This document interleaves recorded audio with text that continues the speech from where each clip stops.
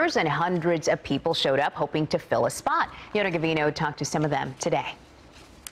These people behind me are hoping to land one of over a thousand jobs available, and interviews are going on right now as we speak. You can see that they are here very excited, and today's goal is to hire workers for part-time and full-time positions. Jobs are entry level to managers, including servers, cooks, bartenders, and sales. Texas Live is a new entertainment center expected to bring in $100 million annually for the city of Arlington. It's expected open late this summer.